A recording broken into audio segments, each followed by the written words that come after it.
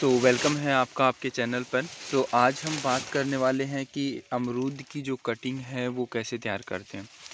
तो जैसे आपको पता ही ये बाग है हमारा। तो कटिंग के बाद मैंने कुछ ट्राई किया कि चलो एक बार कटिंग करके उसको लगा के देखते हैं कि अगर कुछ क्योंकि हमने जो क्लोनिंग प्लांट मंगाए थे वो कटिंग से तैयार होते हैं। तो हमने भी सोचा कि चलो एक बार ट्राई करके देखते हैं कि लगता है या फिर नहीं लगता है।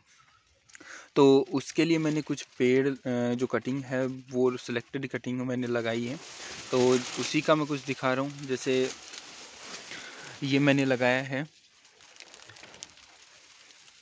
एक ये बालू मिट्टी में लगाई गई थी, ये कोकोपीट के अंदर है और ये सिर्फ़ जो वेस्टिक वेस्टिक कंपोजर का जो होता है, खाद।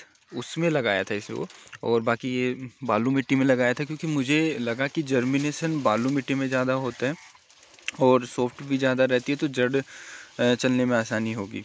तो मैंने ये कुछ कटिंग लगाई हैं, जैसे ऊपर अलग हैं, नीचे ये अलग हैं, ये इधर अलग है, ये ताइवान पिंक का हो गया, और साथ साथ में ये सहसूत की कटिंग लगाई है, जो बड़ा वाला होता है, और ये गूगल की कटिंग हो गई तो मैंने कुछ ट्राई किया है और साथ साथ में वो हैं जो लास्ट में वो हैं जो शुगर के लिए काम आते हैं।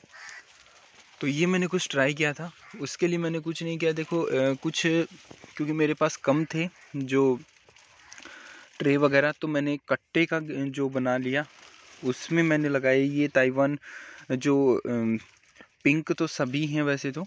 पर ये जो हैं, वो हैं, जो आर्का किरण होते हैं, जो उसके लिए जो काम आते हैं, ज़्यादा रेड होते हैं, वो ये प्लांट है। तो इसमें भी देखो, फुटिंग चल गई है। और इसमें देखिए, ये फुटिंग चल रही है। इसमें देखिए, इसी में भी चल रही है कुछ कुछ में।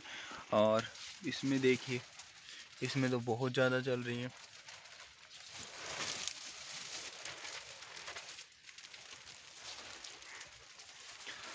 और ये देखिए, इसमें तो सहसूत भी लगाए। तो मैंने ऐसे कटिंग तैयार की है, जो ताइवान पिंक का है। बाकी इसके लिए कुछ नहीं किया था।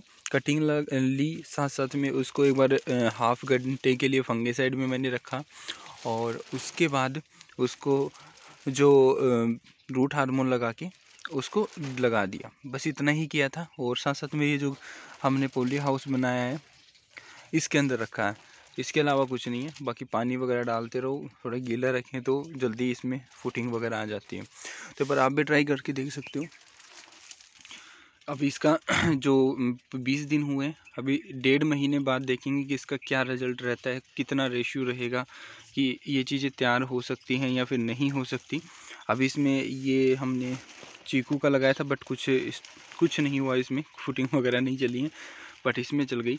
अभी देखते हैं क्या रिज़ल्ट रहता है। मैं आपको अपडेट देता रहूँगा और जल्द ही नेक्स्ट वीडियो आएगी कि क्या अपडेट है इसका। बाकी आपका कोई सवाल होता है तो आप कमेंट करके ज़रूर पूछ सकते हैं। बाकी मिलते हैं नेक्स्ट वीडियो में।